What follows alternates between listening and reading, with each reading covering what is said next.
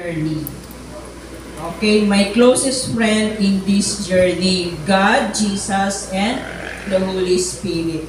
Okay, sino po yung closest uh, friend natin sa journey natin today? Holy Spirit, God, and Jesus. Okay. Ah, third topic na po tayo. Ang oras po ay 10, ele- eleb- ah, 11.51. So, kakain po tayo 1 o'clock. Ha? Huwag naman alas 2, kuya. Busog na eh, busog eh. Okay, 1 o'clock. Ang topic po niya ay the role of the Holy Spirit in our salvation and seal of our salvation. Siya po ay pinanganak noong September 27, 1970. So, ilang taon na siya today? 54. Ha? 54. Kumukuha ng edad? 54. Ha? 54. 54! Okay, batang-bata, 54. Siyempre, meron po siyang isang asawa at tatlong anak. Okay, siya po ang leader ng music ministry. So, kilala niyo na po siya. Please welcome for the glory of God, Pastor Angelito Catiis.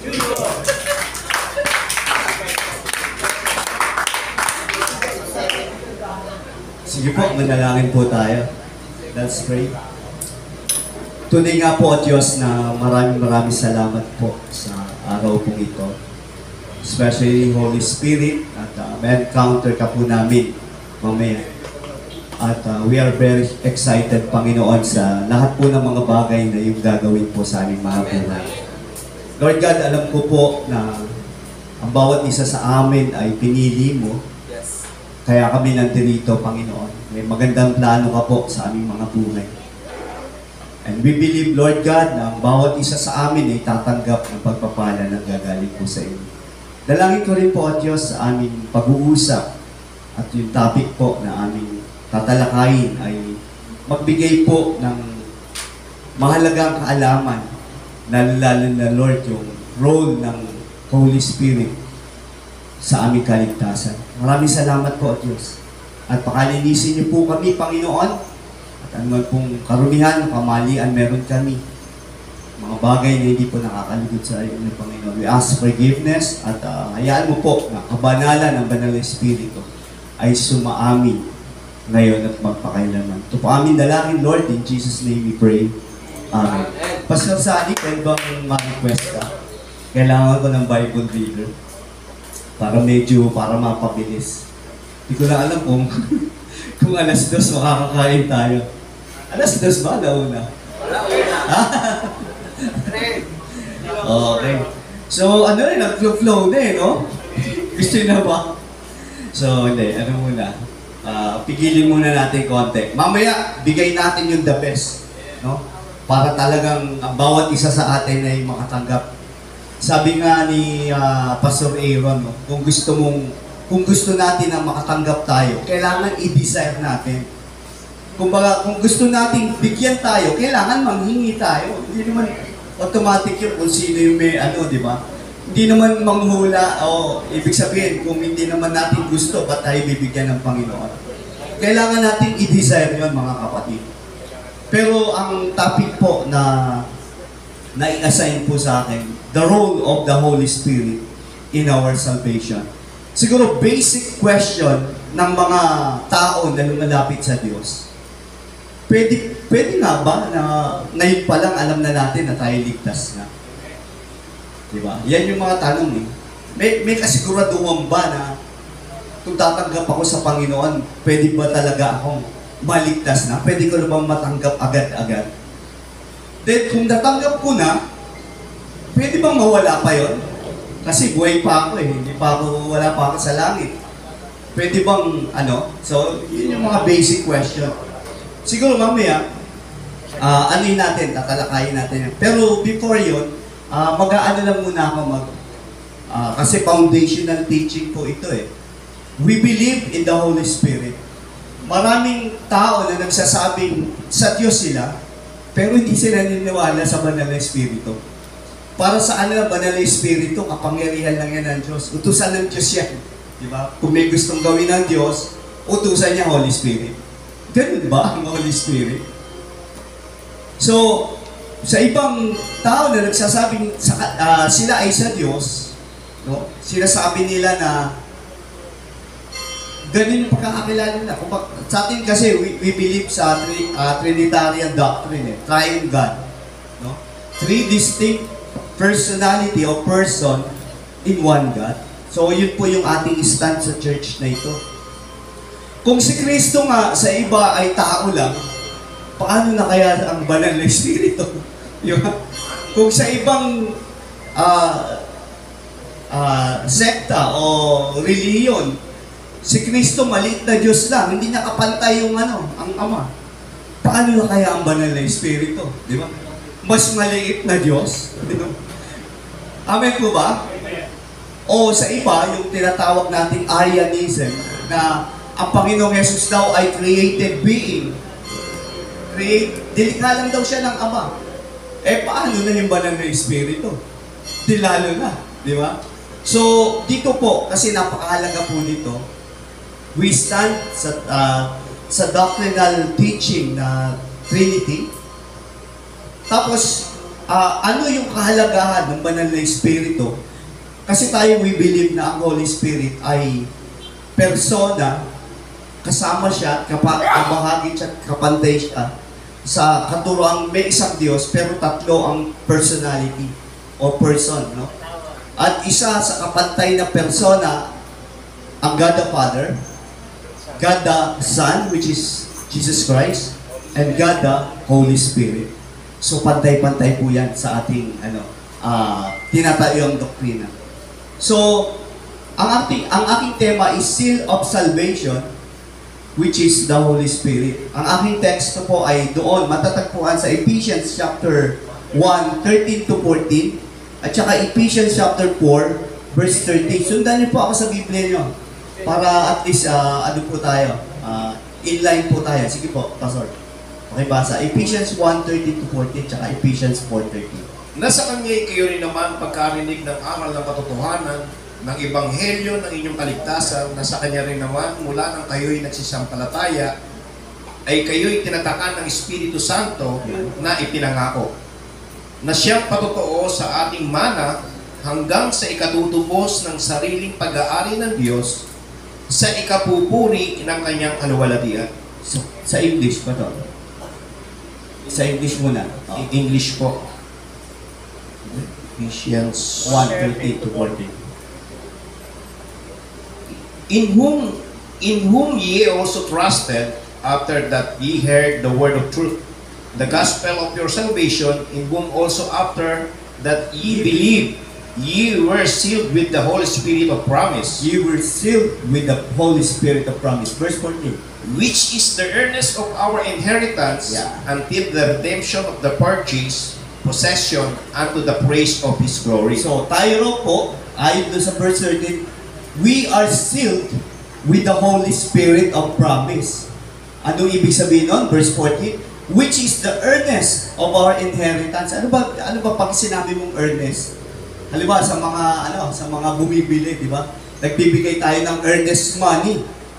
No, para to attest doon sa ating ano ah, kagustuhan na bilhin, no? Nagiiwan tayo ng ano ba tawag doon sa Tagalog earnest money? Parang down unang bayad. payment, unang bayad. no? Parang, oh, seryoso ako dyan, kung bibili ko yan, oh, ito muna yung 1M. So, ano yan, kumbaga, wala nang bawian yung 1M na yan. Bilhin mo, ituloy mo at hindi mo it- ituloy sa ano na yun, doon sa pinag-iwanan mo. That is what we call earnest money. Pero sa salvation, yun din po yung earnest na tinatawag, yung Holy Spirit. Then, punta po tayo sa Ephesians chapter 4, verse 13. At huwag ninyong pigatiin ang Espiritu Santo ng Diyos Yan. na sa Kanya kayo'y tinatakan hanggang sa arawan ng pagkatubos. Yan, sa English. And grieve not the Holy Spirit of God, whereby ye are sealed unto the day of redemption. And grieve not, huwag daw natin pipighatiin o papasakitan yung banal na Espiritu. Banal na Espiritu ng Diyos, whereby ye are sealed unto the day of redemption. Tayo raw po ay tinatakan, no? Para tayo ay ililigtas. No? Sa araw ng kaligtasan, tayo ay talagang ililigtas ng Panginoon. So, ibig sabihin, ngayon pa lang, ay may earnest ano ng Lord. So, ano yung earnest sa uh, thing na iniiwan niya sa mga tumatanggap sa Kanya? This is what we call the seal of the Holy Spirit. Bilang introduction po, sabi dito, sealing means to mark oh, with a seal as a means of identification and authenticating. So, ibig sabihin, ang selyo daw po ay parang marka yun. Na ang ibig sabihin, kinikilala na o inaano na, inaari na ng Diyos. At pinapag, ah, pinapatunay na, pinapagtibay na na sa pagdating ng ah, ah, kal- araw ng katubusan o kaligtasan, sigurado na po tayo. So, ang question doon po is, totoo ba na ang kaligtasan sa atin ay nasa atin na? In literal or in theoretical, wala pa. Di ba? Kasi wala pa naman tayo sa langit eh. Walang makakapagsabi sa atin na ako'y ligtas na o ikaw hindi ka pa ligtas. Wala pa. Pero ang binibigay sa atin ng Lord ay kasiguraduhan. No? Ano yung kasiguraduhan na yun? Yung selyo. Siniselyoan ng bawat isa. Mamaya, yung pinaka-ending ng aking uh, topic is paano natin malalaman kung tayo ay selyado na ng banal na Espiritu. Siyempre, sa pamagitan ng Holy Spirit. Amen po ba? At tulad ng topic ni ah, Sister ah, Clara kanina, yung unang-una nagsalita, na ang banal na Espiritu, ano, ang namumuhay sa sa Espiritu ay talagang pinaghaharian ng Diyos o ni Kristo. Pero pag wala yung banal na Espiritu sa'yo, automatic hindi ka sa Diyos. So, ang marka o tatak o selyo ay walang iba kundi ang banal na Espiritu. What are the indication of a seal? Sabi dito. A. Ikaw ay seselyuhan o tatatakan o mamarkahan. Ito'y nagpapatulay na ownership. Ownership. Na ikaw daw ay pag-aari na. Di ba yung mga baka nilalagyan ng selyo, ng tatak eh, di ba? Minsan dito sa pigi, minsan dito sa ano, lalagyan ng si, ah, hikaw, di ba? So, mark of, ano yun? Selyo yun, na ibig sabihin, kay may may-ari nung ano na yun, nung bahang yun. Pangalawa, finish transaction. So, siniselyuhan pagka ah, tapos na yung yung ah, negotiation nyo. Kung nag-agree na kayo, seselyuhan na yung siguro yung contract or your document, no? Para sabihin okay na yun. Done na yung inyong transaction. So, pangatlo is identification. Bakit kasi selyuhan? Para kilalanin. Kaya para makilala ka. Di ba? Kaya napakahalaga ng selyo eh. No? Para makilala tayo na tayo ay pag-aari na ng Diyos. O kung anumang bagay. Siniselyuhan para makilala yung ah, kung sino may ari. Now, uh, letter D, security. Ah, ako lang yung ano ni Pastor. Ah, sa akin kasi, letter D is security. So, parang masigurado na na ikaw talaga ay pag-aari ng Diyos. And letter E is genuineness. Genuineness. So, during the old, ano, di, ah, Pastor, may sinend akong picture. Pwede mo bang i, ano yun? Yung parang sing-sing. Ayan. During ah, Middle Ages o Early Ages ng ano, yung hari may ganyang klaseng singsing. Ngayon, papatunayan niya na totoo yung dokumento o yung isang bagay na ano nang hawak ng ano yung representative niya sa pamagitan ng kasi yung ano na yun, naka-engrave yan. Tapos may parang sabi natin parang clay o kung ano mang ano yon itatatak ng ano niya yun yung singsing tatatak niya doon.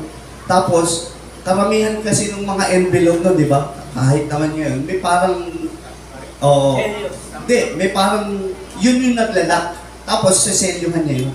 So, ibig sabihin, yun ay pinapatunayang totoo or genuine. No? Yung document na hawak-hawak ng representative ng hari. Okay? So, that is one, ano, uh, use ng seal. Letter F is, sige Pastor, salamat sa picture, value. Okay?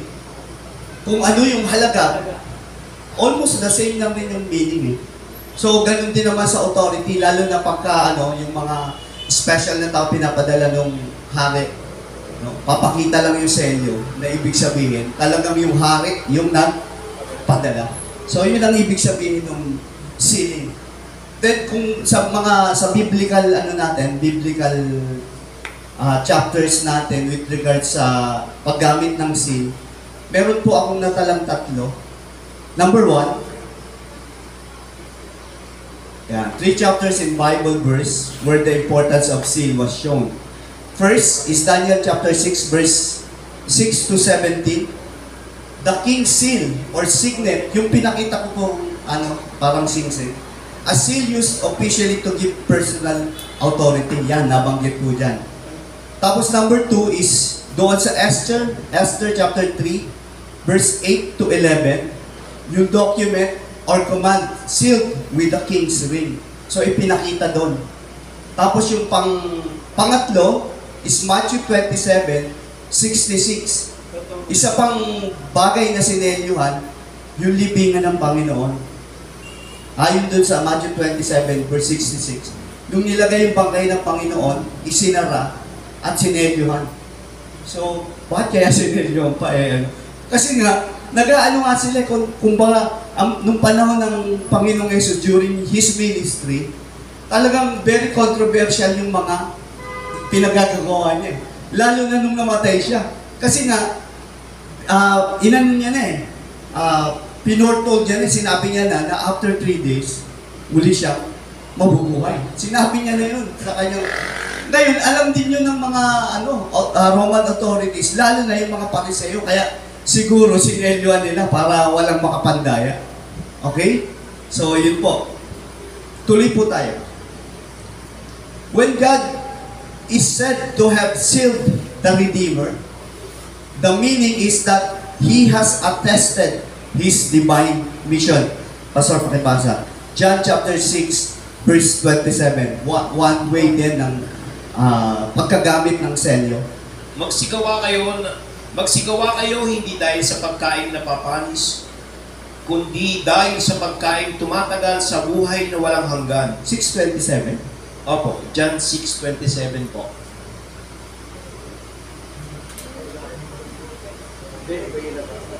Mali yan tayo nabasa mo, Pastor.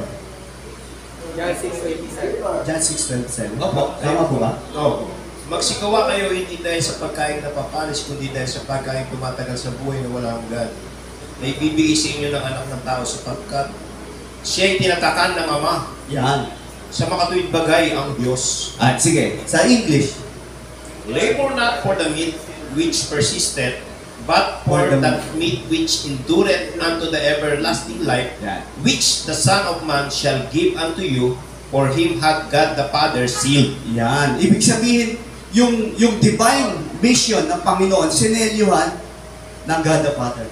Then one point pa rin ng, ah, ng covenant is yung binabing, binabanggit doon sa Romans chapter 4, verse 11. Pastor, pakibasa.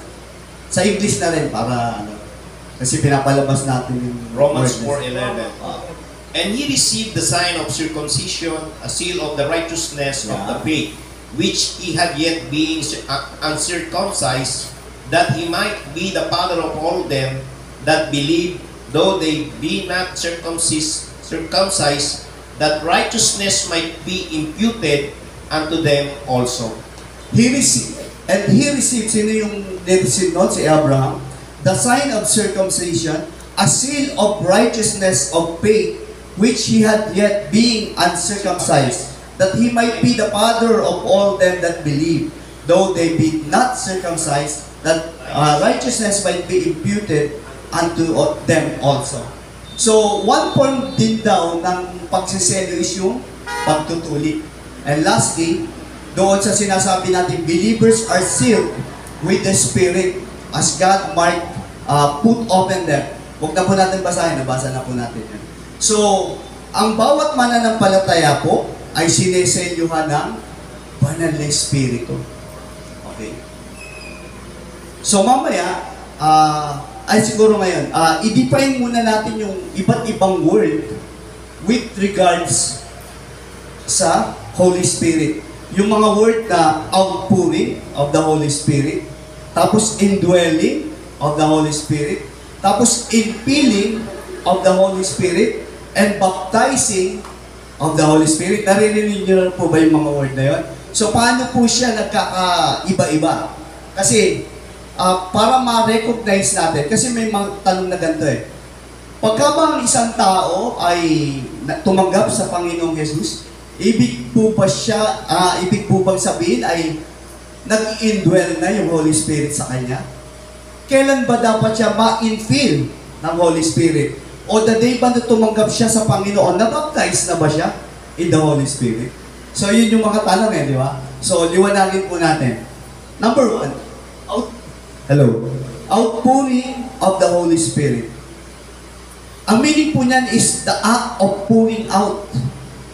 Then, i-define natin yung salitang pouring. Pouring means to move with continuous flow.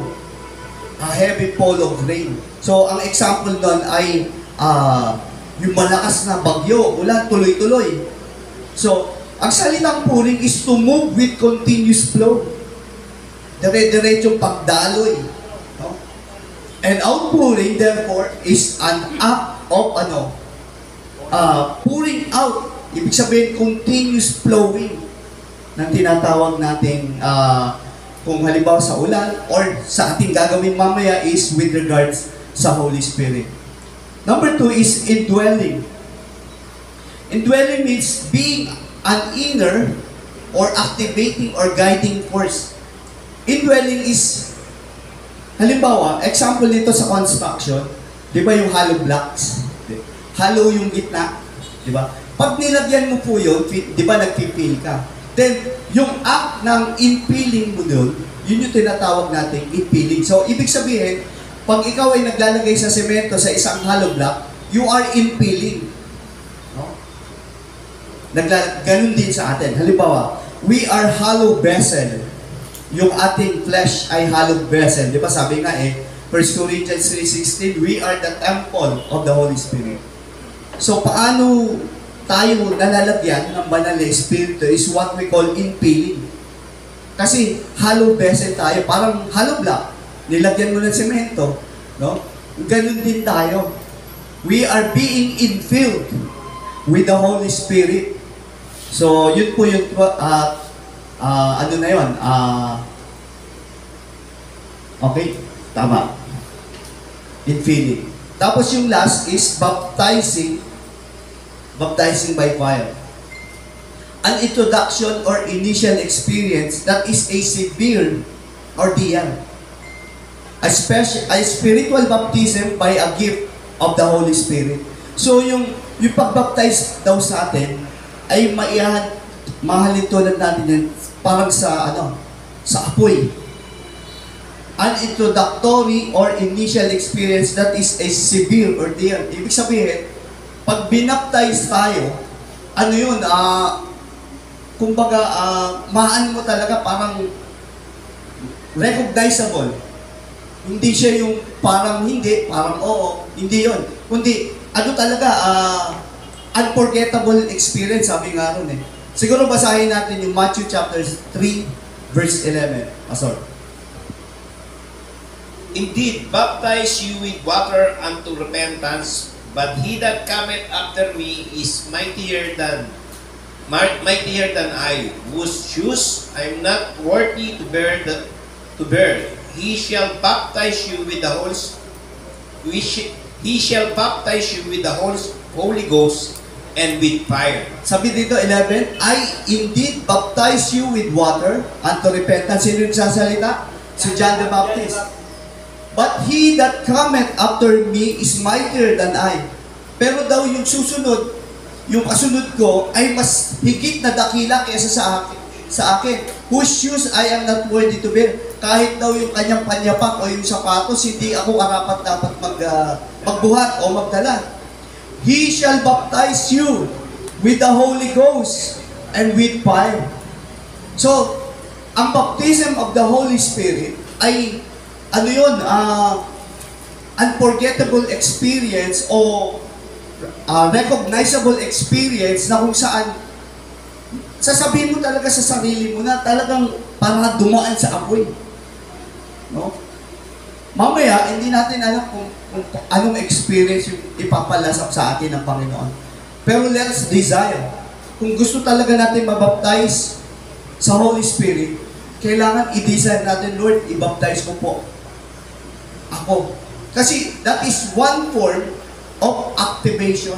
Ina-activate, di ba, after the baptism of the Holy Spirit, yung manifestation ng gift, yung, sina, yung dinidiscuss ni Pastor Aaron, yung gift of the Holy Spirit, at saka yung fruit of the Holy Spirit, mag-uumpisa. Kasi hindi naman the day na ikaw ay tumanggap sa Panginoong Jesus, na-baptize ka na, hindi pa magkaibang event po yun. Kaya kailangan, sa bawat tumanggap sa Panginoong Jesus bilang sarili, Panginoon tagapagligtas, nasain niya na siya ay mabautismuhan sa apoy at sa Espiritu. Bakit? Para ma-activate yung gift at saka yung fruit ng Holy Spirit sa buhay ng bawat isa. Dinidescribe ni Pastor Aaron kanina, kung nakikinig kayo, na yung gift is character formation. Di ba? Tayo ay ginagawang katulad ng ating Panginoong Jesus. Napakahalaga po ng gift of the Holy Spirit ay ng fruit of the Holy Spirit kasi ito yung ah, nagsasabi na talagang ang banal na Espiritu ay nabubuhay na sa atin at mamanifest na sa atin to the point na yung mga dating hindi natin magawa ay nagagawa na natin ngayon through the power of the Holy Spirit. So, ang ah, fruit of the Holy Spirit is more on yung character building at saka internal ano yan eh, manifestation. Kung ano yung magiging character natin ah, comparing sa ating Panginoong Jesus. Then yung gift of the Holy Spirit, kailangan din natin yan. Bakit? Kasi pag magsiserve ka na sa Lord eh. Di ba? Kailangan mo ng gift of teaching. Paano ka makakapag-teach kung, kung wala kang gift of teaching? Di ba? Eh, spiritual to. Hindi mo naman pwedeng kahit graduate ka pa ng doctorate o kung ano mang masteral degree sa sikat ng mga university, hindi mo makapaliwanag pa rin kasi more on spiritual matters ka eh. Amen po ba? So, kailangan mo ng uh, gift of uh, knowledge, gift of preaching, gift of teaching. Di ba? So, marami kang gift na kailangan. Gift of miracles, gift of faith, yung inano ni Pastor. Then, yung gift ng speaking in tongues. Gift of prophecy. Okay? So, iba't ibang gifting, pinaliwanag kanina ni Pastor Aaron. Okay. Then, punta na po tayo sa aking pinaka-topic. Nag-lay lang po tayo ng foundation. So, ito po yung talagang topic ko. What are the sign of presence of the Holy Spirit in our lives?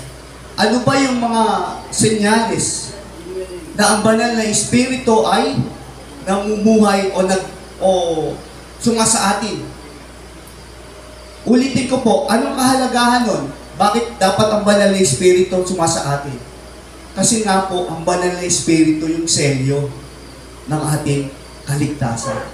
Kaya pag bumalik ang ating Panginoong Yesus, alam na agad kung sino yung mararapture at hindi. Bakit? Kasi kitang-kita yung apoy ng banal na Espiritu sa atin, nagliliwanag. Amen. That is the sign. Di ba? Yung iba nagtatanong, sino mararapture? Sana masama ka sa rapture. Alam niyo po, ang pag-rapture o yung salvation na tinapagkuha ng Panginoon, hindi po hulaan yan, hindi po alatsaan pa yun. Pag bumalik ang Panginoon, pagtunog ng pakaka, ng trompeta, no? tumunog, alam na agad kung sino yung kukuhain ng Panginoon. Bakit? May apoy ng banal na Espiritu sa kanyang buhay. Nakitang-kita ng mga spiritual being, especially ang ating Panginoong Yesus. Kaya walang, wala akong pahalakasan dito na ako naligtas dahil close ako kay Pastor. Ah, kadikit ko si Bishop. Kadikit ang kaututan nila ko yan. Kadi, kasikuhan ko yan. No? Hindi. No? Hindi ka na ng pagliligtas ng Panginoon. Kaya kailangan ng banal na Espiritu ay namamalagi sa atin. Para the day na tutubusin na tayo ng Panginoon, kitang-kita. Ikaw, kasama ka doon. Amen po ba? So, number one, intense thirst and hunger for God's Word. Isang sign na ang banal na Espiritu ay nagahari sa atin, yung tinatawag nating intense thirst and hunger for God's Word. Let's read John chapter 16 verse 13. Howbeit, when he, the Spirit of truth, is come, Yan. he will guide you into all truth, for he shall not speak of himself, but whatsoever he shall he, but whatsoever he shall hear, that shall he speak, and he will shew things to come. Yan. Ang banal na Espiritu ang nagbibigay po sa atin ng intense thirst and hunger for God's Word. Kasi sa totoo lang, kung hindi tayo puspos ng banal na Espiritu, hindi natin ito bubuklatin. Tama po ba yun? Tama po ba yun? Para tayo yung sinasabi doon sa kanta ng Hillsong, ah pagka daw linggo, no, binaw, a- ano yung kanta na yun? Ang message yung gano'n, pag linggo raw, talagang busy-busy raw yung ano, yung Kristiyano. Pero pagka lunes hanggang Sabado, binabalibag. Kaya ang tanong nung, nung anak doon sa nanay, pagka Sabado, Nay, nasa na po yung Bible ko? sa, ngayon, sasagot yung nanay, Ewan ko sa iyo, ikaw nagbalibag doon. Tawin po ba? So, yung pagkakaroon ng ng ano ng kauhawan at kagutuman patungkol sa salita ng Diyos, yan po ay udyok ng banal na espiritu. Sa totoo lang, ang daming pumipigil sa atin para buklatin to. Tama po ba yun? Pagka nag-decide ka nga sa, sa ano mo, Lord, gusto kong mag-aral ng ano. Tapos bigla naman marami magte-text sa'yo, bigla kang bibigyan ng maraming ano, problema, bibigyan ka ng sa trabaho mo, oh, gawin mo to, unahin mo to. Di ba? Yung mga circumstances na gano'n, napakahirap mo kasi mag laan ng oras. Ano, ma- marami po tayo kasi kaaway. Especially ito si Satanas, mga demonyo. Pagka magbabasa ka na ng ano, minsan nga nagbabasa ka na ng ano, parang isip ko, lumilipad pa rin. Kaya kung hindi tayo puspos ng banal na espiritu, mahirap pubuklatin to. Pero kung tayo puspos ng banal na espiritu, kahit anong hadlang pa yan, di ba? Maglalaan tayo ng oras at panahon sa pagbabasa nito. Tama po ba? Okay, that is one, number one. Yun po, intense thirst and hunger for God's Word. Pangalawa po, deep and profound conviction over sin. John chapter 16 verse 8. Pastor. And when he is come, he will reprove the world of sin, and of righteousness, and of judgment. And and when He is come, sino yung He is come? The Holy Spirit. He will reprove the word of sin. Kasi ang banal na Espiritu, siya yung Espiritu ng kabanalan. Sa isang natural na tao na namumuhay sa laman, di ba? Apakahirap mamuhay sa mga bagay patungkol sa Diyos. Bakit? Kasi by nature, tayo ay makasalanan. Tayo ay mahina, tayo marupok, ano pa mang pwedeng ano. O tukso, layuan mo ako, mo ako, di ba? Hindi, hindi pwedeng mangyari yun eh. Kasi lalapitan ka talaga ng tukso, kaya nga siya tukso eh, di ba? Kung malayo siya, wala na siyang effect. Ngayon, yung deep and profound conviction over sin, pagka nakakagawa tayo ng hindi maganda at kasalanan laban sa Diyos, ang banal na Espiritu magsasabi, mali yung ginawa mo. Hindi tama yan. Hindi ka lugod-lugod yan sa Panginoon. Amen po ba? May nagsasabi bang gano'n? Sa mundo, yung taga-sabi nila ron, safeguard eh. Ako ako yun. Pasensya. Ang banal na Espiritu, hindi sabot. Ang Holy Spirit, siya yung magkukonvict sa'yo, anak. Hindi, hindi yan kaayon-ayon. Kaya, number one initial uh, indication na ikaw ay nakatanggap sa banal na Espiritu pagka nagkakaroon ka ng awareness with regards to sin. Dati nung hindi pa tayo mananampalataya, di ba? Ganun-ganun na tayo gawa ng kasalanan, di ba? Yung salita lang natin, na puto ko chinta, nabasa, parang ano, maging masaya, puto ko chinta, maging malungkot, puto ko chinta, di ba? Kahit anong feelings mo eh, puto ko chinta eh. Pero nung ikaw ay naging kristyano na, di ba? Sasalitain mo pala po, wala na, ayaw mo na eh. Bakit? Bakit? Dahil ikay pinaghaharian na ng ano? Ng banal na Espiritu. That is one best indication na tayo po'y pinaghaharian ng banal na Espiritu. Pagka-aware na tayo sa paggawa ng kasalanan.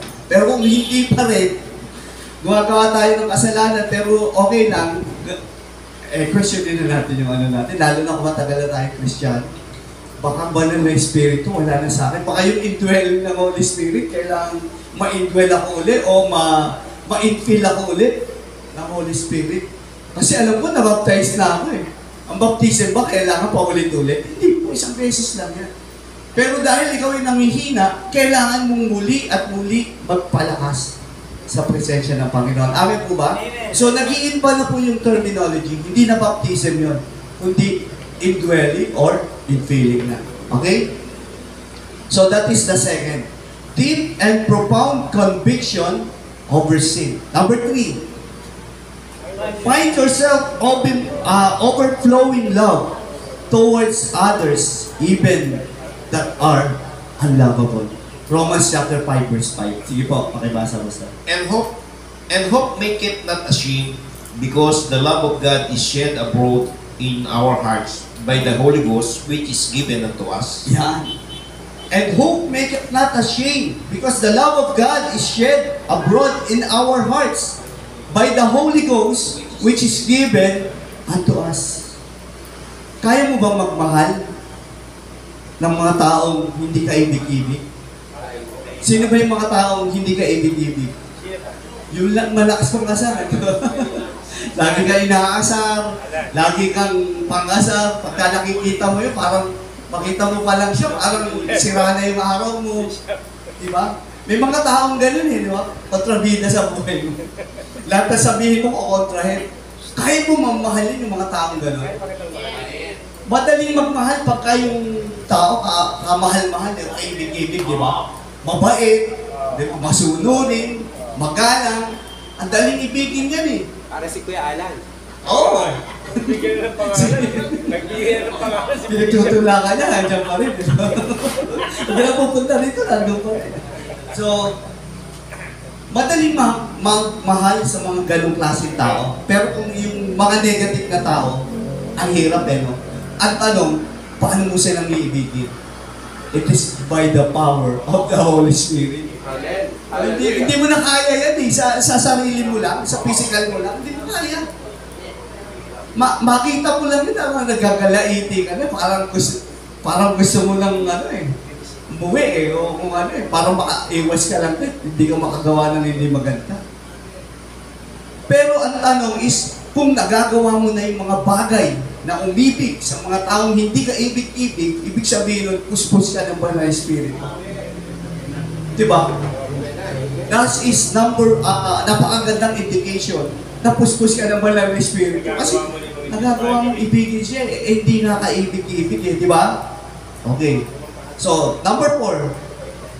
Number one is intense thirst and hunger for God's Word. Pangalawa, deep and profound conviction over sin. Number three is find yourself over, overflowing uh, towards other, even that are unlovable. Number four, you found boldness in sharing the Word of God and salvation. Acts chapter 2, verse 14. Pastor. But Peter, standing up with the eleven, lifted up his voice, and said unto them, Ye men of Judea, and all ye that dwell at Jerusalem, be this known unto you, and hearken to my words. Yan. Alam niyo po ba ang context dito, o story dito, background? Nung, nung ang mga disciples ay, ano, ah, halimbawa ang Panginoong Yesus, di ba, namatay na siya. Tapos inilibing. Tapos nag-resurrect, di ba? Tapos 40 days nandito. So, tapos nun, yung ascension niya, umakit na siya sa langit. Anong ginawa ng mga apostle after that? Ano ginawa nila? Ha? Naghintay? Okay. Bukod doon? Pagpanik ng Panginoong Jesus. Oo. Bumalik sila sa dati. Ayun. Bumalik sila sa dati nilang trabaho. Isda. Ang isda ulit. Imaginin mo yun, mga, mga apostol, mga disipulo, nakasikuhan ng Panginoon, di ba? Naka-witness ng napakaraming miracles, nakarinig ng napakagagandang mga aral, no? Pagkatapos namatay, nabuhay na muli ang Panginoon, tapos nag-stay ng 40 days, 40 nights, tapos nagkaroon ng ascension. Alam niyo po ginawa ng mga apostles, disciples? Bumalik sa dating trabaho. Oh, so uh, what is, ano yung indication? Ano ba ibig sabihin nun? Back to zero sila. Amen po ba? Then dumating yung Acts chapter 2, di ba? Sabi kasi instruction, ah, hantayin niyo muna sila doon sa ano, sa araw ng Pentecostes. At nagkataon 50 days after the resurrection, ah, after the ascension. No, 50 days nandoon sila sa upper room, no? At ano nangyari sa kanila? Yun ang istorya na kung saan ay first ever na nagkaroon ng baptism in the Holy Spirit. Kasi ang Panginoong Jesus, nung nag-preach siya, wala namang nag-baptize ba siya sa Holy Spirit? Wala, di ba? Pero alam natin doon sa Matthew chapter 3 verse 11, yung, ayon doon sa binasa natin kanina, na si John, John the Baptist ay nagbabautismo sa tubig. Pero yung kasunod niya na mas mahigit sa kanya, mightier than he, na sabi niya hindi siya karapat-dapat kahit taga-alag o taga-buhat ng tsinelas, ay siya'y magbabautismo saan? Sa banal na espiritu at apoy. Ang tanong, ginawa ba ni Kristo yon sa kanyang ministeryo? Hindi. Kailan niya ginawa? Doon sa the day of the Pentecost. Through the power of the Holy Spirit. Amen po ba? So after nun, anong nangyari? Sila Pedro, alam ba, si Pedro, bumalik sa pangingisda, then dumating yung baptism of the Holy Spirit. Ano nangyari kay Pedro? Di ba tumayo siya at nangaral? Basahin natin, Pastor, Acts chapter 2 verse 41. Then they then they that gladly received his word Yan. were baptized, and the same day there were added unto them about three thousand souls. So, ibig sabihin, yung dating takot, no? siguro nag nagigilty pa rin si Peter during the time eh. Bakit? Ano ba kasalanan ni Pedro? Di ba tatlong beses niya? Oh, kinatwa ang ating Panginoon. No? Ano ang mas matinding kasalanan? Yung kasalanan ni Judas o yung kasalanan ni Pedro? Bakit? Oh, ha? Ang problema, ah, kasi si si Jude, si Judas, ano lang eh, kumbaga parang ah attestation lang eh, o i- ibig sabihin, pinatotohanan niya lang na yung mahalikan niya, si Jesus talaga. Pero although, yung mga tao kasi, alam naman kung sino si Jesus eh. Bakit kailangan pa ng ano, confirmation ni, ni Judas? Di ba? Kilala nila si Jesus eh. Bakit kailangan pa nilang i-confirm pa ni Judas? So, ibig sabihin, kung, kung ikukumpara mo sa kasalanan ni Pedro, mas mabigat talaga yung kasalanan ni Pedro kaysa dun sa kasalanan ni Judas. Ang kaya lang ang problema kasi, sa sobrang remorse niya ni Jude, anong ginawa niya? Nagpakamatay. Pero I believe kung hindi siya nagpakamatay, palagay ko, di ba? Kakaroon pa rin ng revival pa rin yung kanyang spiritual life. Kasi hindi naman ganun kabigat yung kanyang ginawang kasalanan. Eh. Confirmation lang eh, na si Jesus talaga eh. Di ba sabi, ang hahalikan ko, siya si Jesus. Di ba? Yun yung usapan nila ng mga pariseo. Pero itong si Peter, talaga total denial eh. Di ba ikaw yung kasama? Ano? Ay, hindi ako. Hindi ako. Ngayon, iba siya ng pwesto. Ikaw talaga yun eh. Hindi talaga ako yun. Ah, ano? Hindi talaga Oh, talaga. Sige. Punta na naman sa ano. Then nilubutan na siya nung pagkatapos yung third denial, biglang tumilaok yung manok. Naalala. Niya, sinabi nga pala ng Panginoon kung ano yung gagawin niyang ano. mas matindi palagay ko yung nangyari, ah, kasalanan ni Peter. Kasi thrice mo siyang dininay. Yung, yung isang denial na nga, napakabigat na yun. Disipulo ka, nakaka, nakaranas ka ng mga himala, ng ano. Tapos, nung time na ipapako na sa krus sa Panginoon, itatanggi mo na disipulo ka. Eh di ba ikaw pa nga yung leader? Di ba? Di ba sabi nga, yung ano, huhugasan ko yung paa nyo. Di ba sabi? Ano sabi ni Pedro? Wag Lord, hindi ayaw ko. Eh ano sabi ng Lord? Pagka hindi kita nahugasan, hindi ka magiging kabahagi ko. Ay Lord, palag paliguan mo na ako. Para. So at ribito eh, no? Ito si, si Pedro. Pero makikita natin, after nung baptism of the Holy Spirit, nagkaroon siya ng boldness sa paghahayag ng salita ng Diyos. Under siya dun sa ah, deepest low ng kanyang spiritual life. Then, after ng baptism of the Holy Spirit, ilan taong na-convert sa kanyang preaching? 3,000? Biruin niyo po, 3,000? Kung pag-aaralan po natin talaga yung mga, hindi lang mga simpleng tao yung na-convert niya. Bakit? Sila yung mga, ah, di ba, ang, ang, ah, according to sa kwento ni Pastor Aaron kanina, di ba nag-speak in tongues? Yung mga disciples at saka yung mga apostle. Tapos pinagkamalan silang ano, lasing. O, maalasing yan. Sabi, hindi po. Ang maaga pa para malasing to. So, yun na, yun na yung naging ano, daan para makapag-preach, makapagpaliwanag. Pero sino ba yung mga na-convert? They are Romans. They are Greeks. Alam natin na ano ba ibig sabihin pagka-Romans and Greek during that time? Para ma-imagine mo, yung panahon natin, halimbawa, yung panahon ng Kastila, di ba? Tayo yung mga Indio. Pero yung mga Kastila, ano, sila yung mga ano, higher class. At ganun din nung time na yun. Kasi ang Israel is under the Roman Empire during that time. At alam natin yung kultura ng mga Romano ay inadapt nila sa mga Greko. So alam naman natin kung gaano katatalino yung mga taong Greko. Ngayon nga na, na benefit pa rin tayo sa mga ideas niya. Ah, idea about votation, idea about democracy. Greek yan eh. Karamihan sa mga magagaling ng philosopher during that time is Greek. Sa mga mathematician, di ba? Mga Greek din yan. Mga magaga- magagaling na sculptor, magagaling na mga painter, mga doctors, no? So sila yung mga upper class. At sila yung klase ng tao, uri ng tao na na-convert during the preaching ng ating ah, dakilang si Peter.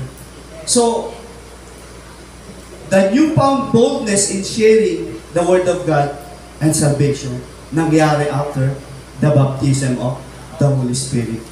Sa atin ngayon, kailangan natin ng boldness with regards sa pag-preach ng salita ng Diyos. Kaya mo mag-preach sa LRT, MRT?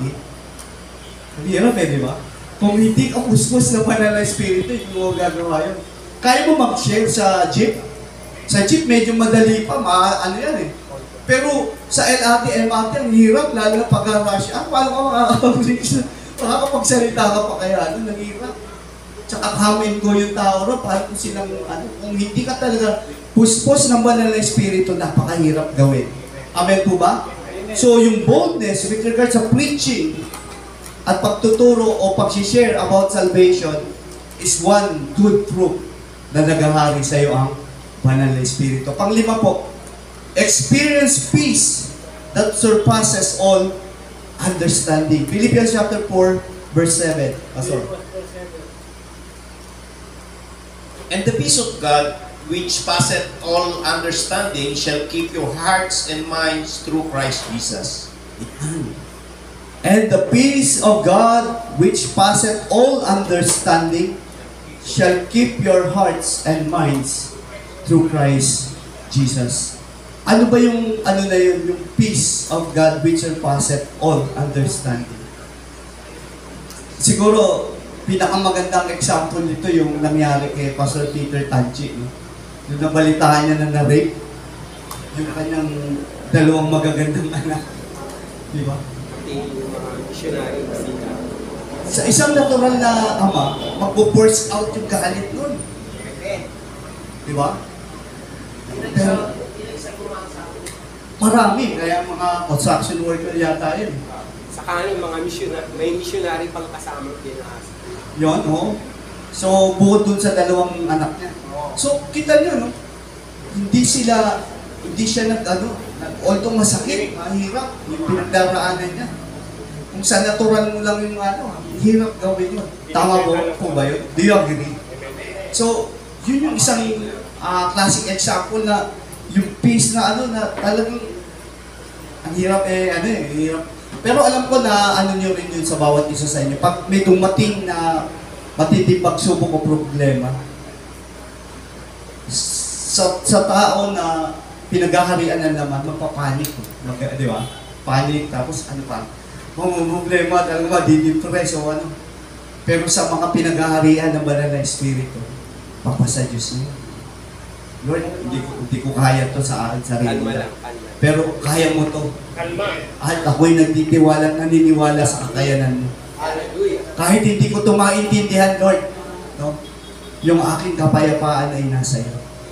Amen po ba? Kung kaya mong gawin yun, yun, totoo, na pinaghari ka ng banal na espiritu. Amen po ba? Bilis naman ng oras. Number six. Okay. Ignites unquenchable, unquenchable desire to worship God with all your heart, mind, and soul. Napakaganda po nito mga kapatid. Gusto ko pong mag-focus konti dito. Kasi since na uh, nandito po ako sa ano ah, worship,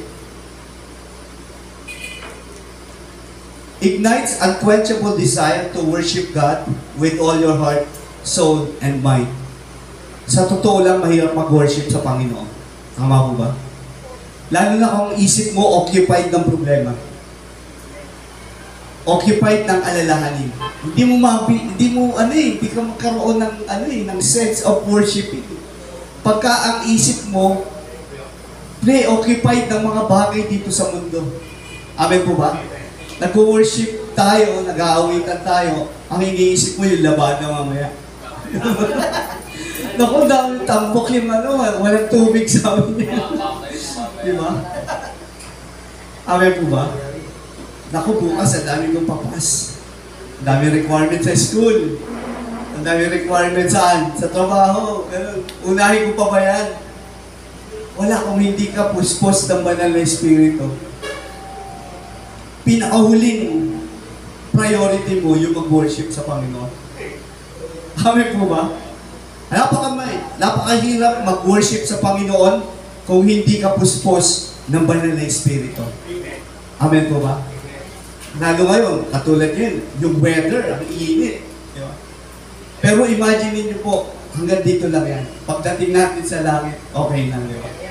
At saka isa pang magandang konselasyon, pag pumunta ka sa impyerno, mas mainit doon. Amen po. To the point na pipirit uwi ka talaga doon. di ba? Ang hirap doon. So, isipin na lang natin na yung ginagawa natin is an act of worship and sacrifice sa harapan ng Panginoon. Kasi nakikita ng Lord yung yung ating puso kung da, da, ah, gaano natin da, nais ah, magpuri at sumamba sa Kanya.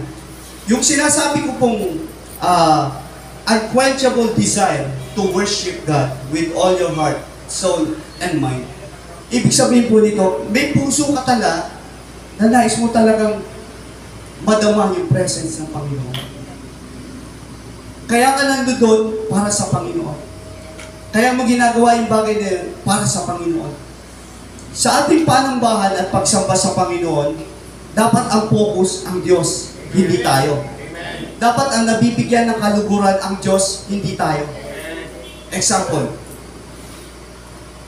Dahil ang Diyos ang kailangan nating sambahin, hindi na mahalaga kung ano, hindi na mahalaga kung ano yung ating nararamdaman sa ngayon. Kahit ikaw ay batbat ng problema, kahit ikaw ay batbat ng kahirapan o pangangailangan, huwag mo munang isipin yun.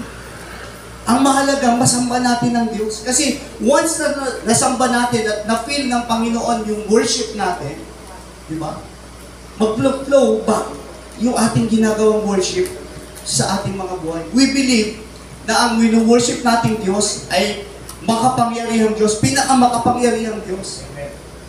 At dahil doon, naniniwala tayo na ang pagpapala ng Panginoon mag-flow down din sa atin. So, tayo rin po ang magbe-benefit sa totoong worship na pwede nating i-offer sa Diyos. Amen po ba? Tayo rin pang magbe-benefit kasi mag, mag-flow back eh. Sa bawat isa. Marami tao nagsasabi, ang totoong worship, di ba? Ah, Romans chapter 12, verse 2, di ba? Verse 1 and 2. Ano, offer yourself as a living sacrifice. Okay yun, nandito na tayo eh. Kumbaga, ah, living for the Lord, okay yun. That is a good, ah, ano, good way para maipakita natin yung worship sa Panginoon. Pero yung pinag-uusapan po natin is how you react doon sa makapangyarihang Diyos, yun yung mahalaga. Kung halimbawa, nag-worship, halimbawa, maawit tayo ng isang pag- pagsambang awitin sa Panginoon. Yung kung paano mo ginagamit yung kantang yun para ma-express mo yung totoong damdamin mo sa Diyos. Napakahalaga po yun. Amen po ba? So, yun po yung inaano natin, sabi nito, spontaneous flow of worship in your daily lives. Spontaneous, uh, ibig sabihin, pag puspos ka talaga ng banal na espiritu, yung, yung, yung pagsamba sa iyo ay dumadaloy. Di ba, definition kasi ng ano eh, ng, nung, ah, nung indwelling is ah, continuous flow.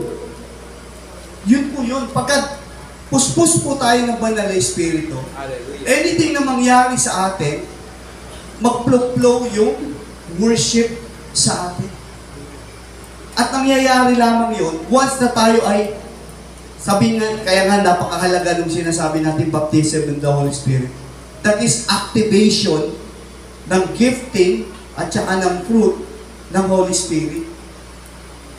So, hindi natin ito magagawa kung walang ano, kung, kung kailangan ah, hindi pa activated. Kaya, kaya napakahalaga nga po na mag-undergo tayo sa tinatawag nating baptism of the Holy Spirit.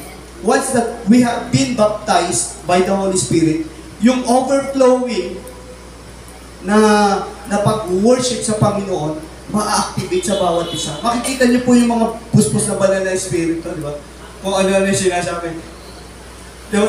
Parang sasabihin, lasing ka ba? Parang yung sa chapter 2. Pero sa totoo lang kung bakit mo ginagawa yun, dahil yung power, yung presence, yung spirit ng Holy Spirit, ah, yung spirit ng God na nasa iyo ay talagang totoong nagpaplo. Ang hirap explain pero alam ko na-experience ko po yun. Amen po ba? And during the corporate uh, corporate worship setting, we are deeply moved by the presence of God. Amen po ba? Amen. habang tayo, kasi yung tinatawag nating pagsamba sa Panginoon, either individual, personal, di ba? Halimbawa, ta, na, nagpe-pray tayo mag-isa sa atin, ano, then may time doon na magpupuri tayo sa Panginoon personal. That is personal uh, worship. Pero in corporate worship, katulad ng gathering na ganito, no? Kailangan ilagay natin yung ating puso sa, ano, sa presence ng Lord. We are deeply moved by the presence of God. Ako naniniwala ako na pagka ang puso ng, ng Diyos, na-touch natin, yung presence siya bababa. Hindi pwedeng hindi. Tama po ba yun, mga kapatid? Although yung, yung talagang presence niya, nasa puso naman natin eh.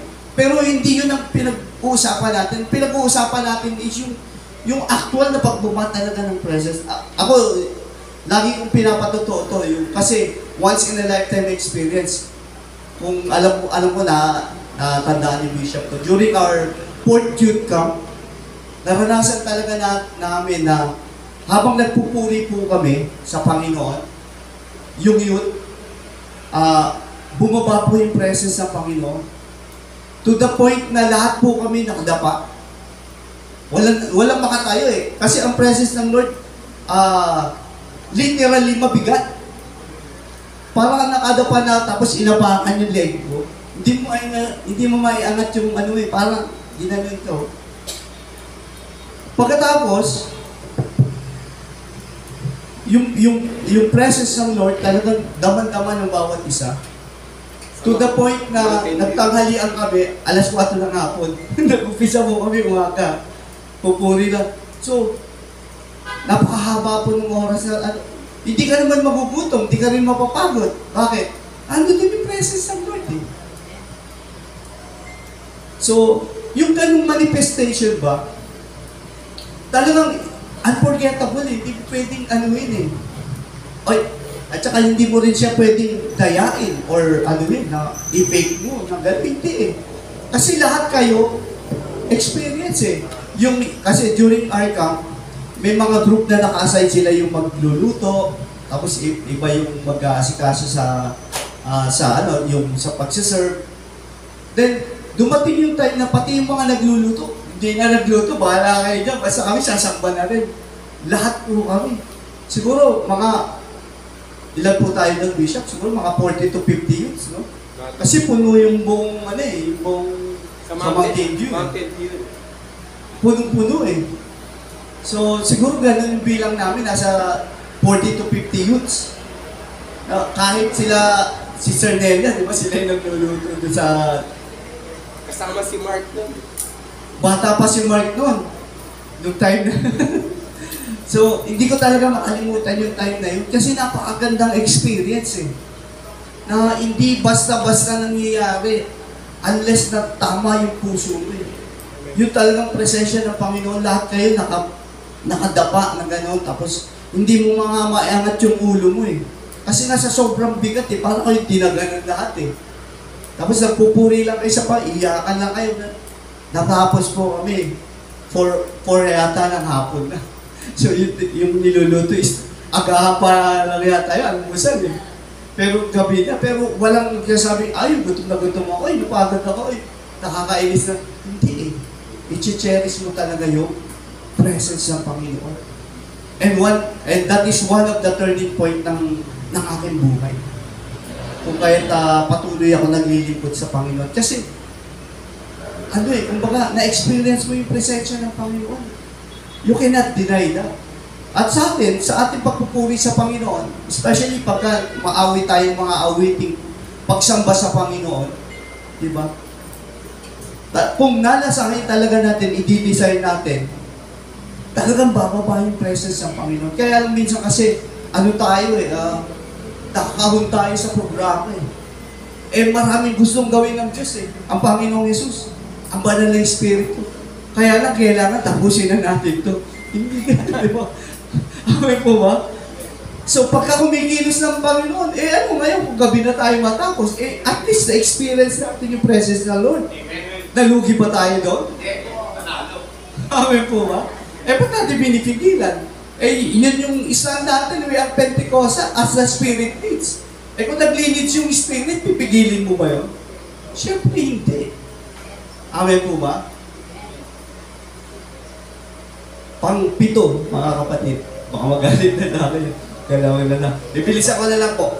Seven, profound transform, ah, transformation in your life. So ito na nga po. John chapter 16 verse 6, 13. Pastor. 16:13. Howbeit, when He, the Spirit of truth, is come, Yan. He will guide you into all truth, for He shall not speak of Himself, but whatsoever He shall hear, that shall He speak, and He will shew you things to come. Tapos 2 Corinthians 5:17.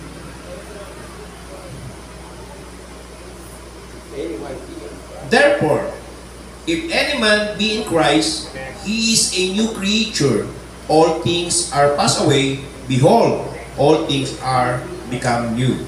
Yung pagnanasa po natin na iwanan yung anumang uring kasalanan sa atin ay nagpapatunay na tayo pinaghaharian o pinamamahayanan ng banal na Espiritu. Yung dati nating masamang ugali, ayaw na natin yan. Di ba? Ito na tayo. Christ-like na tayo. Kung ano yung gustong mangyari sa atin ng Panginoon, as the Spirit of Truth leads us, paano mangyayari po yun? As we read yung kanyang salita, Na dati yung, yung pag nagbabasa tayo ng Bible, parang comics, di ba? Parang ano naman to, boring, ang hirap basahin. Di ba? Hindi ko maintindihan.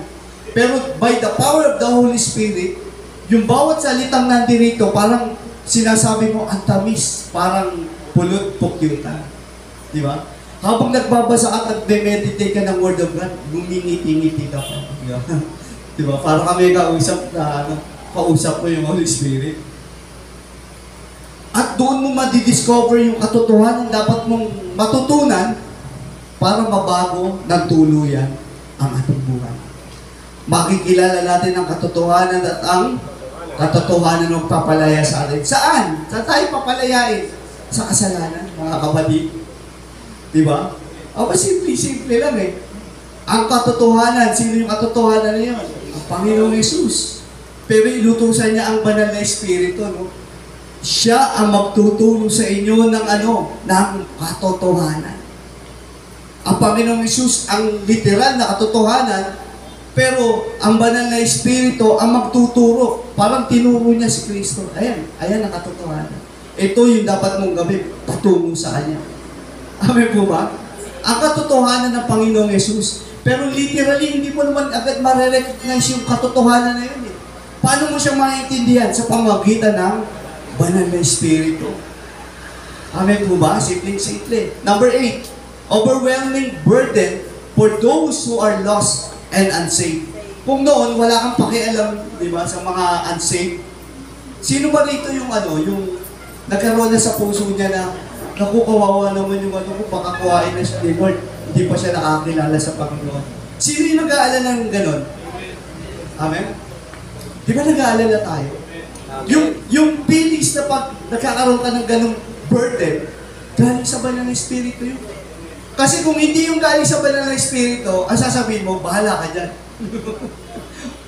kung mamatay ka, buti nga sa'yo. Makulit ka kasi. At tagal na kitang pinagsasabihan, ayaw mong makinig. So, kung mamatay ka man sa kasalanan mo, mabuti nga sa'yo. Kung ikaw lang yun. Pero kung ikaw ay pinaghaharian ng banal na espiritu, hindi, mababirthday ka. Baka nga to the point na iyakan mo yun ako. Di ba? Ano gagawin mo? Puntahan mo siya ngayon sa ospital, patatanggawin mo sa Lord. Kahit ano sana, hindi pa late yung aking gagawin. At gawin na gamitin ng Panginoon tong ah, boldness ko para siya tumanggap sa Panginoon. Amen po ba? Basahin natin ito, napakaganda nito. Jude chapter 1, verse 17 to 23. Medyo mahaba lang pero pagtyagaan natin mga kapatid. But beloved, remember ye the word which were spoken before of the apostles of our Lord Jesus Christ. Yan. How that they told you there should be mockers in the last time, we should walk after their own ungodly lusts. This, these be they who separate themselves sensual, having not the Spirit. But ye, beloved, building up yourselves on your most holy faith, praying in the Holy Ghost. 21. Keep yourselves in the love of God, looking for the mercy of our Lord Jesus Christ unto eternal life. 22. And of some have compassion, making a difference. Yan, 23, last verse. And others saved with fear, pulling them out of the fire, hating even the garment spotted by the flesh. Ano yung pinakamagandang word doon, yung sa last verse? Yung pulling them out of the fire. Sino yun? Yung mga unbeliever. Hatakin niyo raw sila saan sa apoy. Alam niyo ba yung mga unbeliever? No? Literally, yung yung paa nila, no? Sinusunog na sa apoy ng impyerno yan. Pagka ang isang tao namatay na hindi nakakilala sa Panginoon, yun na, literally, doon na siya, susunugin na siya sa apoy ng impyerno. Kaya yung pag, pag uh, share sa kanila ng gospel, is yung pagkakaroon natin ng burden para sa isang lost soul, is literally parang hinahatak natin sila sa apoy ng impyerno. Ang ganda ng pagkakadescribe ni Jude. No, yung mga unsaved or lost soul ay literally sinusunog na sa apoy. Although hindi pa nila ano, hindi pa nila nararad, nararamdaman yung init at pag, paghihirap dun sa totoong apoy ng impyerno. Pero parang selyo, no? Nakadestin na sila doon. Kaya nakakatakot. Kaya tayo, bilang mga mananampalata, kailangan din tayo pagharian ng ano, ng burden para sa mga lost soul. And one indication na tayo pinaghaharian ng banal na spirit, pag meron ganun tayong puso, na hindi natin hahayaan na agawin na siya ng kamatayan nang hindi nakakilala sa Panginoon. And most especially, kung mahal natin yun sa buhay. Patitiis mo ba yun? Alam ba, kapatid mo, nanay mo, unbeliever, di ba? O kaya kung sino man na importante sa'yo, na siya'y mamamatay nang hindi nakakilala sa Panginoon. Kung puspos tayo at batbat tayo ng banal na espiritu, hindi natin matitiis yun. Yung pagnanasa na kagustuhan natin si- siya'y maligtas, ay mananaig kaysa dun sa ating pagkahiya. Di ba? O pagkatakot. Dadaigin ng, ano eh, ng, ng pagnanasa natin siya'y maligtas. Kasi alam natin na pagka na, na-miss niya yung chance na masave, paano pa? Di ba? Baka wala na ibang ibang chance pa. Amen po ba? Then, ah, second to the last, sampu lang to kapatid. Siyam. Oh, siyam. Supernatural empowerment to resist temptation and sins. Live a life to honor God and holiness. Pakaganda po nito. Supernatural empowerment to resist temptation. Yung tukso layuan mo ako, pero sa totoo lang, yung tinutukso, gusto rin yung tukso eh, di ba? Sige, lapit ka lang. di ba? Ano ba yung tukso sa'yo? Ano ba sa kalalakihan? Sexy babae o kaya magandang babae o kung ano pa? Mabango or makinis or ano pa, Brother Alan? Adi pas ka lang. so, sinasabi mong tukso layuan mo ako, hindi. Sa totoo lang, sa puso mo, gusto mo sabi, tara, lapit ka pa. hindi mo na ako kailangan tuksuhin. gusto ko rin yan. Parang ganun yung gusto mong gawin eh, sabihin eh. Tama po ba? Kung ikaw ay nasa laman. Kasi sa totoo lang, mahirap ayawan yung tukso. Anong dapat mong gawin? Katulad ni Joseph. Oh. O bakit siya nakatakbo? Hindi niya pinansin yung tukso. Sa pamagitan ng kapangyarihan ng ano, banal na espiritu. Sasabihin ng banal na espiritu, oh, yan na naman, mahina ka dyan, huwag mo nang entertain nila, layo ka na. Di ba? Wala kang panalo dyan. Takbo. Lalo na dito sa cellphone natin, di ba? Bitsa, nagbabrowse tayo. Magtataka ka, bakit puro sexy na yung nakikita mo? Kung hindi mo lalayuan yan, at di ba doon sa ano, pagka may reels, di ba may parang X doon? Di ba? Pindutin mo yung X. Ayun, hindi na lalabas yun. Tama po ba? Eh kaso hindi. Alam mo ba yung Facebook, may algorithm to eh. Yung lagi mong pinapanood, yun yung lagi mo i- iaano sa Facebook, di ba? Yan yung, kasi gusto mo yun eh, nakikita ni FB, ay, ito pala gusto mo ha, sige. Di ba? Aware po ba? Lalo nung, lalo nung nag-pandemic tayo, di ba lahat ng tao nasa ano? Nasa bahay. Ano libangan mo? O, cellphone, di ba? At hindi ng TikTok nun. Kala ko rated X na eh. No, Tatalo na gano'n, kita mo, parang nakahubad mo eh. So, yung imagination mo talagang gagana eh, no? Eh kung yun ang kahinaan mo, anong gagawin sa'yo? Ah, pagpipesa ka ng kaawa, eh, yung palaki na ako, sige. Ah, yung tumatalon, palaki ng palaki. Tama ba yun? Palaki ng palaki yung tumatalon, naiintindihan niyo ba yun? Alam ko, nakapanood nyo rin yun eh. Yung mga ano, ganun Wala, kung hindi mo siya i-ekis, kung hindi mo siya i-ekis, yun na lagi mo makikita. At kahit hindi ka na nakatingin sa ano, sa cellphone, yun pa rin yung nakikita mo. Bakit? Bakit? Wala, tumanim na eh. Kaya napakahirap po mga kapatid, na pagka hindi ka puspos ng banal na espiritu, hindi ka makakatakbo palayo sa mga tukso. So, anong dapat mong gawin? Kailangan mapuspos ka ng banal na espiritu. Supernatural empowerment to resist temptation and sins. Live a life to honor God and holiness. Yun din po. Kaya mo bang mag-live a life to honor God and holiness? Kung hindi ka puspos ng banal na Espiritu, hindi mo kaya yan. Kaya mo? Hindi ka puspos ng banal na Espiritu, tapos live a life of honor God and honoring God and holiness. Hindi natin kaya ito mga kapatid. Unless napuspos tayo ng ano, na Espiritu. And very last, lastly, number 10, increasing presence of spiritual fruit. Galatians chapter 5, 22 to 23. Huwag po kayong mag-alala. Ah, last na po to. Galatians chapter 5, 22 to 23. But the fruit of the Spirit is love, Yan. joy, peace, long-suffering, gentleness, goodness, faith, meekness, temperance. Against such there is no law. Yan. Pero bago natin basahin yun, basahin naman natin yung 19 to 20. Sa Tagalog, sorry, masyadong mahirap yun. Galatians 5, 19 to 20. Ah, opposite to kasi nung ano eh, yung 22 to 23. 20 to 21. Sige, Pastor. Tagalog.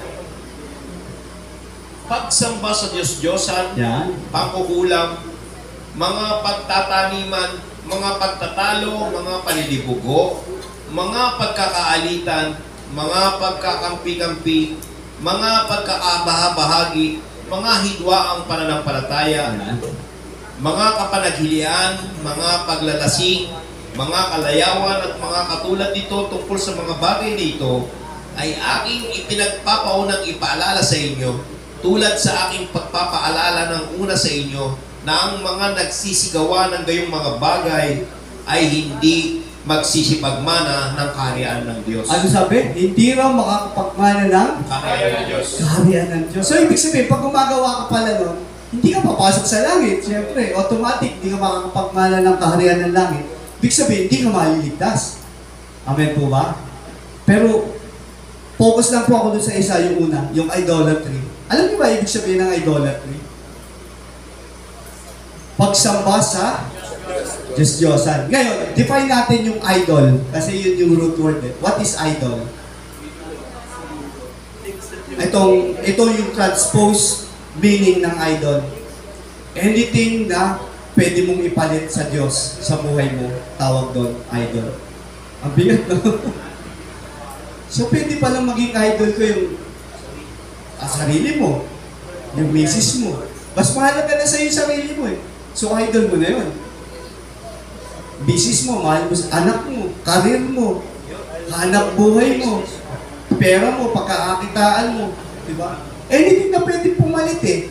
Pagka yung prioritize mo na yung isang bagay na unahan ng Diyos, unahan sa Diyos, that means idol mo yun. Mas mahalaga yun sa'yo. eh. Di ba? Hindi natin sinasabi na bawal magkaroon ng mga bagay yun. Pero dapat mas higit ang Diyos, mas prioritize natin ang Panginoon. Kung yun ang ah, buhay na binigay sa atin ng Panginoon, gamitin natin yun. Di ba? Pero to the point na hindi dapat mas higit sa Panginoon. Kasi mas mahalaga ang Panginoon kesa sa lahat ng bagay. Sa trabaho, sa karir, di ba? Ano ba? Lahat na pwede mo isipin na pwede mong pamalit sa Diyos, tawag doon idol. Ang bigat eh, no?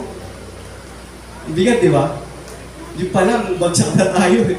Eh, ang sabi, sino man daw ang gumagawa nito, hindi pwedeng maging tagapagmana eh. So, paano natin pwedeng ah, magagawang una ang Diyos sa lahat ng bagay patungkol sa ating buhay? Kailangan puspos tayo ng banal na Espiritu. Hindi natin kaya ito talaga kung wala tayong Holy Spirit sa ating buhay. That's why napakahalaga po ng trabaho ng banal na Espiritu sa buhay po ng bawat isa. Kaya yung sinasabing selyo o marka ng kaligtasan, ano na lang yun eh. Kumbaga, kung ikaw talaga ito tong pinaghaharian ng banal na Espiritu, higit pa sa selyo eh. Ang, ang mangyayari sa iyo eh. Alam na alam mo talaga na ikaw ay papasok sa karya ng langit. Bakit? Nararanasan mo in every second of your life ang presence ng God. Through the power of the Holy Spirit. Kaya hindi mo na pwedeng, kaya hindi mo na kailangan pantanungin na, papasok ba ako sa aral ng langit?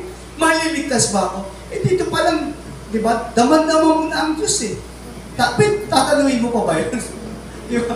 Illogical tanungin yun. Eh ngayon pa nga yun, nararanasan mo na ang Diyos eh. Tapos tatanungin mo pa, maliligtas ba ako?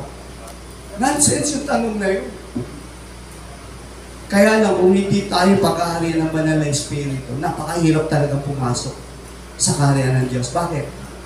Bagsak tayo sa lahat eh. Amen po ba? Nagagawa natin yung lahat ng bagay na to. It's intense thirst, a hunger of God's Word, deep profound conviction over the same, find yourself overflowing, uh, overflowing love towards others even that are unlovable. You found boldness in sharing the Word of God and salvation. Experience peace that surpasses all understanding. Ignites unquenchable desire to worship God with all of your heart, mind, and soul. Profound transformation in your life. Overwhelming burden for those who are lost and unsaved. Love for the lost soul. Supernatural empowerment to resist temptation and sins. Live a life to honor God and holiness and increasing presence of spiritual truths. Hindi po natin kaya gawin to kung walang banal na Espiritu. Kaya natin magagawa to dahil sa kapangyarihan ng banal na Espiritu.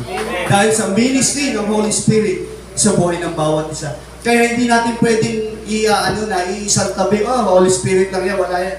Hindi. Hindi ka mahaliligtas at hindi ka makakapasok sa karya ng Diyos kung wala ang tulong ng ano, banal na Espiritu. Kaya napakahalaga po nitong event na to eh. Kung bago tayo mananampalataya ng Panginoon, kailangan natin to. Bakit? Kasi kailangan natin ng banal na Spirit sa buhay natin. Para masustain natin yung ating pananampalataya hanggang sa muling pagbabalik ng Panginoon. Amen po ba? Pagpalain po tayo lahat ng ating Panginoon. Tayo po ay nananalangin sa Panginoon. Hallelujah.